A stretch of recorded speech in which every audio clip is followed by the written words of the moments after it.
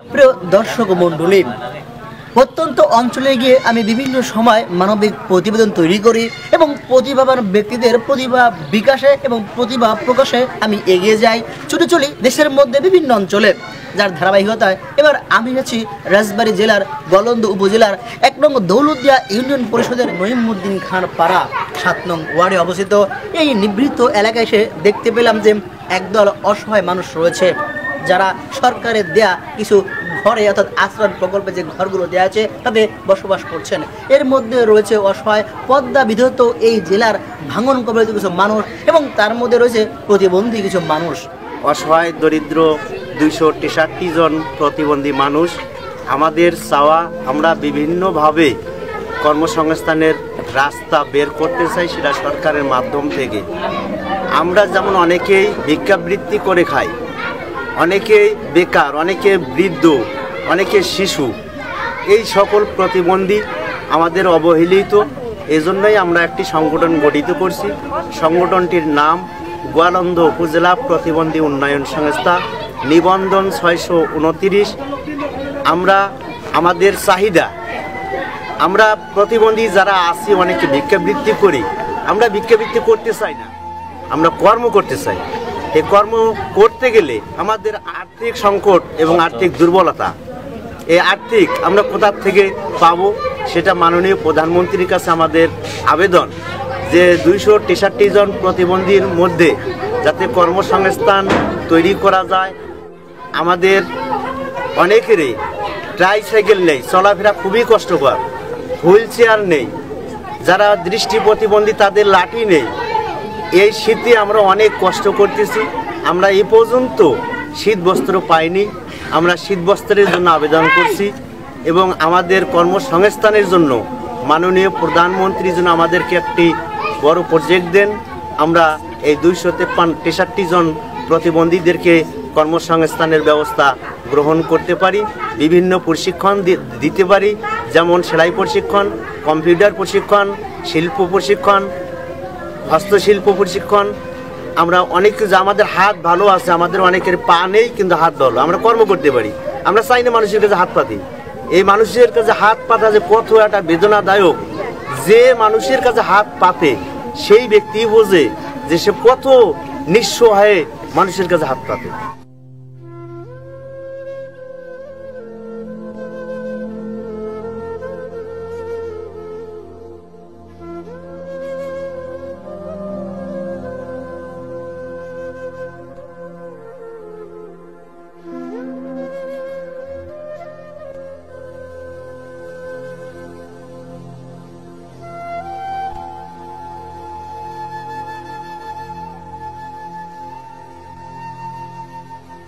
দর্শক মণ্ডলী, আপনারা যারা মনে করেন আসলে প্রতিবন্ধী সমাজ থেকে বিচ্ছিন্ন একটি জাতি আসলে সেই ধারণা এবং সেই জন্য কথাবার্তা আসলে ভুল। তারাও কিন্তু মানুষ সমাজের আর দশটি সচ্ছল এবং সক্ষম মানুষের মতো তাদের ইচ্ছে করে সুষ্ঠু এবং সুন্দরভাবে জীবনযাপন করতে।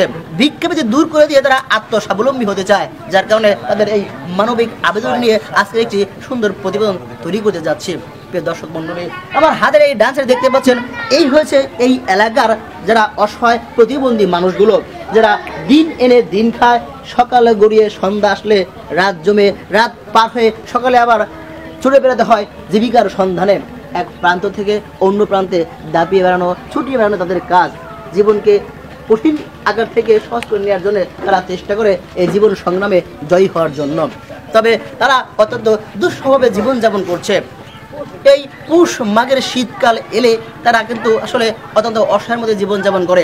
আমি একজনের মুখ থেকে শুনেছি, তাদের শীতের কম্বল নেই। একজনের গাড়ি চড়ে নিয়ে গেছে তার গাড়ি হারিয়ে গেছে। এখন জীবিকার জন্য কোনো গাড়ি নেই এবং অনেকের থাকার জন্য ঘর থাকলেও ঘরের মধ্যে আসবাবপত্র নেই। সব মিলে তারা খুব দুঃস্বভাবে জীবনযাপন করছে। তাই তাদের আবেদন, এই শীত বস্ত্র বিতরণ এবং যার গাড়ি হারিয়েছে, তার গাড়িটি প্রদান সহ নানান ধরনের উপকরণ যেন তাদের দিয়ে থাকে। তাহলে হয়তোবা তারা সুন্দর এবং স্বাভাবিক জীবনে ফিরে আসতে পারবে। সব মিলে আপামর জনসাধারণের মাঝে তারা আরও দশটি সমাজের সুস্থ ধারা মানুষের মতো মিশতে পারে, চলতে পারে এবং স্বাভাবিক জীবনযাপন করতে পারে, এই হচ্ছে তাদের আবেদন।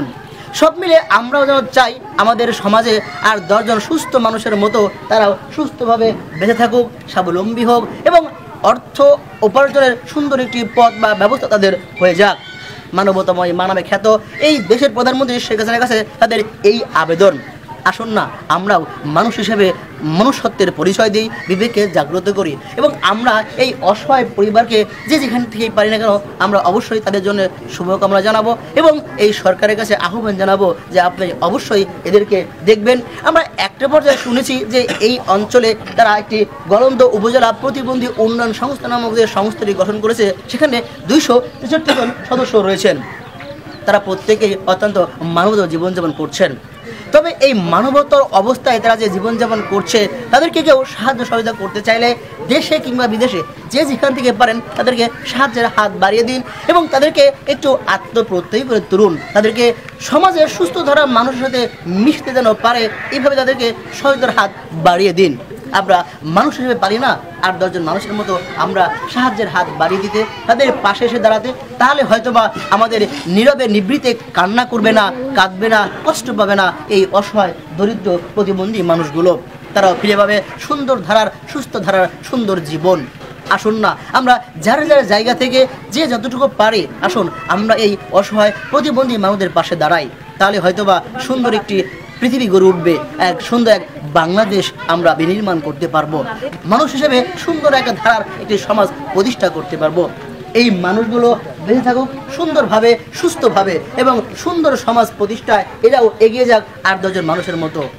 এই মানব, মানবেতর এবং মানবিক ফরসে এসে তাদেরকে ভালোবেসে আমিও গেয়ে যায় সেই সাম্যের গান। অনেক কবি, লেখক, প্রাবন্ধিক, নাট্যকার এবং অনেক লেখক লিখেছেন অনেক গান। তবে এই মানবতার জীবনযাপন করা এই সকল লোকদের নিয়ে কে কবে, কার থেকে, কোন সময়, কোন ভালোবেসে, কাকে ভালোবেসে এসে, কাদের নিয়ে কি লিখেছেন, আসলে কেবল তা শুধু পৃষ্ঠার অন্তরে রয়ে গেছে।